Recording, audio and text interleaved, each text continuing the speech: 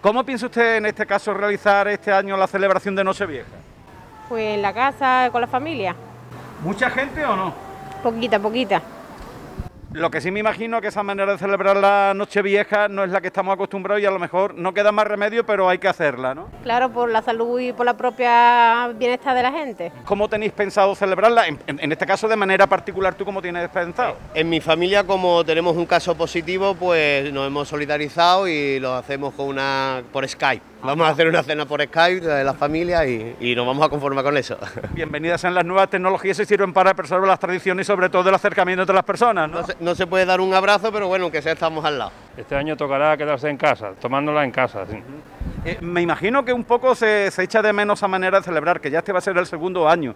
Eh, ¿Cómo la piensas celebrar exactamente? ¿En qué va a consistir la celebración de, de- de Nochevieja, Pedro? Pues en la familia que se pueda juntar y tomar las uvas y poco más. Ya habrá tiempo, se echa de menos lo de los disfraces, lo de salir y vivir a Nochevieja coineña, pero toca ahora aguardarse un poquito. Pues nosotros cuatro en casa, mi marido, mi niño, el perro y yo, no hay más. Eh, ¿Es de aquí de Coim, me imagino? Sí, sí. La costumbre de ir a la plaza, como ves que otro año no se haya te podido hacer. Pues este año nos disfrazamos en el salón de la casa. Todo y seguimos viendo la campanada por la ventana. Tengo la suerte de que vivo cerca de la Plaza del Pescado. Entonces, pues veo desde allí y ya está. En casita con la estufita. ¿Es usted de los que va a disfrazarse habitualmente? Yo no, me- yo voy disfrazado todo el año.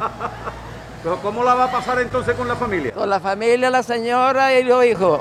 Sí, ¿verdad? Nada más. Me imagino que teniendo mucho cuidado para que esto poco a poco... No, vayamos- eh, vamos bien, vamos bien.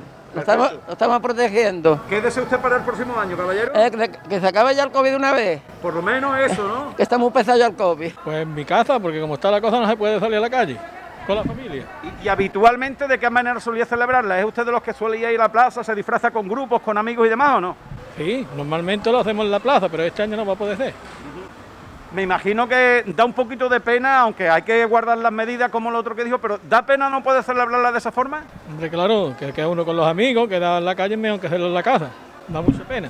Me imagino que de todas maneras en casa también se puede disfrazar uno, ¿no? Hombre, claro, ya lo tenemos que hacer como siempre. Y los entusiastas del disfraz pueden continuar con la tradición haciéndolo en casa y participar en el concurso convocado subiendo una fotografía a Twitter con el hashtag NocheviejaCoin 2021, etiquetando al ayuntamiento e indicando la categoría que son tres, individual con un premio de 50 euros, pareja con 100 y familiar con 150 euros.